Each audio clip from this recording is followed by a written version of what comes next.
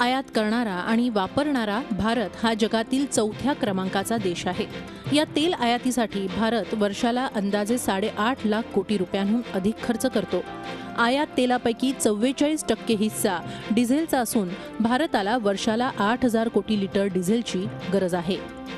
इतक्या मोठ्या प्रमाणात डिझेल वापरामुळे पर्यावरणाचं होणारं नुकसान तर न मोजता येणारं. या दोन्ही समस्यांवर मात करणारा उपाय म्हणजे बायोडिझेलचा वापर वाढवणं. My eco energy company in diesel नावानं पहिला बायोडिझेल पंप पुण्यातील लोणीकंद इथं चौदा ऑगस्टपासून सुरू करते.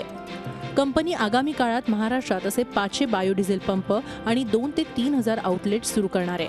साधारण तीन ठिकाणी भारतात याचं मॅन्युफॅक्चरिंग होत आहे. याचे फायदे असे आहेत की आत्ता पंप पेट्रोल पंपावरती मिळणाऱ्या नॉर्मल डिझेलपेक्षा एक ते दीड रुपया पर लिटर हे कमी किमतीने अवेलेबल होईल. डिझेलच्या तुलनेत बायोडिझेल एक ते दीड रुपयांनी स्वस्त असणार आहे. बायोडिझेल वापरासाठी गाडीच्या इंजिनमध्ये कुठलाही बदल करावा लागणार नाही.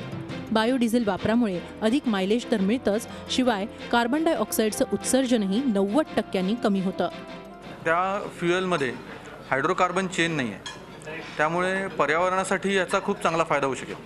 म्हणजे नॉर्मल डिझेलपेक्षा नव्याण्णव टक्केपर्यंत कार्बन इमिशन्स कमी करण्याचं क्षमता किंवा पॉसिबिलिटी ह्याच्या या फ्युएलमध्ये आहे. कोणत्याही सबसिडीविना बायोडिझेल आयात होणाऱ्या डिझेलपेक्षा स्वस्त आहे. त्यामुळे सरकारनं बायोडिझेल उत्पादकांना सहकार्य करणं गरजेचं आहे. त्यामुळे परकीय चलन बचतीबरोबरच पर्यावरण संरक्षणही साध्य होणार आहे. Krishnat पाटीलसह bureau report Zee media Mumbai. Zee चोवीस तास. रहा एक पाऊल पुढे.